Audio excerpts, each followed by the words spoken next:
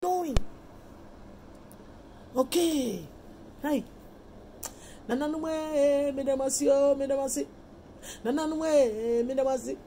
Nananwe, medamasi. Nananwe, medamasi.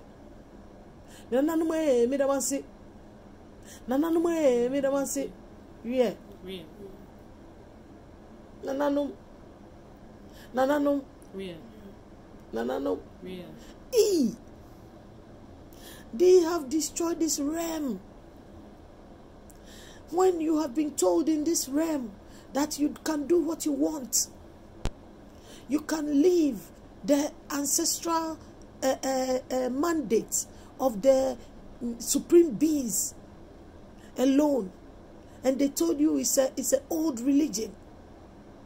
They want you to detach yourself from the laws of the cosmos. And they want you to live your life by your life, by yourselves. Do whatever you want. Be free from the, the, the laws of the cosmos. And they tell you spiritually grow by yourself. Don't have any attachment. Don't do any uh, rituals. Don't do all these things. They are removing you from the mandate of the supreme beings that have been of old before millions of years on earth. And they um, tell you to hustle, hustle, make money. They tell you to lie, cheat, and go and say sorry. They tell you to do everything you can and then go and confess. These things, they tell you to drink, they tell you to smoke, they tell you to do everything to your body, they tell you to sexually be active and do all sort of sexually perverse things to yourself, including masturbating, pornography, and all these things. All these things and pleasure. Wherever you go, there is sex. Wherever you go, there is free sex, free porn. All these things is to lower you, to self-destruct, to detach yourself from the nyame wa nyame the mandate of the supreme beings by your own hands. You detaching your soul. So you are walking. No wonder our community is in shambles because majority of our community have detached themselves from the supreme beings by themselves with the laws in this realm. Do whatever you want, when you want, how you want it. Eh, It's your life. My dear, it's not what it is. You doing all those things, you detach yourself from the supreme beings. Because you know what? We are all under all animals and all creations are under a, what a cosmic uh, law. And when you do whatever you like, whenever you like, how you like it, as these people have created this realm to be a chaotic realm, you detach yourself from the supreme beings and the laws of the cosmos. And when you do that, you detach yourself from the cosmos and you detach yourself from your own soul. So your soul have detached. And, and, and with Christianity and fake religion, your soul is detached. How do you get gain your soul back? How? You have to go into a shrine. You have to do it manually. And you have to realign your spiritual self. You have to do what is right, when it's right, how it's right, and bring yourself to alignment. Then you can reattach yourself with a, a what? With a, a, a, shrine. A ritual. A do that at ritual. How many people will do this to reattach themselves back? Look at the way they have done this realm. Everything in this realm is to make you fall. People don't even know that they are disconnecting themselves from the supreme beings by the way they have mandated this realm. Whatever you are doing wrong here, you think is okay. It's destroying you from the supreme beings. My brothers and sisters, this is dangerous. This is super dangerous. My dear, now my daughter is going to read for us to see. Read, ma. Okay, so Sankofa, if you forget and you return, go and grasp, grasp from the ancestral past. It is not taboo. When we engage in disorder, we make ourselves repulsive to Nyame wa Nyame.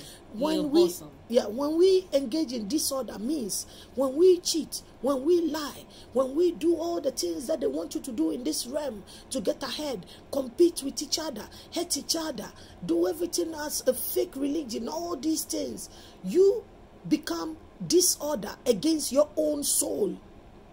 And when that happens you detached from your soul. Go on Uh, Nyame wa Nyame, the Obosom, the Nananom Nsamanfo, which is supposed to be the honored ancestors and ancestries, and Asamando, the ancestral realm, and our Okra Okra, which is It's basically soul. your soul. If we continue to dwell in disorder, the Okra Okra is repelled, similar to the repulsion of two magnets being placed together on a table with the same polarities facing one another. Until we reverse the polarities, the magnets will automatically repel. Until we reject disorder and realign with order, the okra okra is repulsed and repelled. In this condition, we can manifest temporary odam, which Madam, is hey, hey. Psychosis. Nananume, medamasi, yo, medamasi. So the whole black community is under madness. Odam, Odam psychosis means madness. The black community are shooting themselves, killing themselves, making all sort of perverted behavior my children it is not just just because they are doing it but because their soul is attached detached from themselves they don't know what is reality they don't know what is uh, uh, the order any longer so now they subject themselves in killing themselves and hurting themselves hey this is what they can do to a human being this is the demons we have been praying for. Look at this realm. Everything in this realm is to make you fall. Hey, Nananum, Yadamasi, Yadamasi. Uh, conclude the sentence so that I could pause. Indeed, psychosis is properly defined fundam- fundamentally as disalignment from the okra okra. If yeah, Go on. if one continues to dwell in disordered thoughts, intentions, and actions with deliberate effort, which means you're doing it on purpose, the okra will detach from the individual. In Akan culture, it is said in such a instance, Nikra Eguane. Nekre Jane, E- Nikra- Nekre Guane, means your soul is run away from you. Hey, look at the black community. They are not in touch with reality. Yay! Yay! Nananume! Nananume Damasio! Nananu, now I know that what they are doing, they don't even know what they are doing to themselves.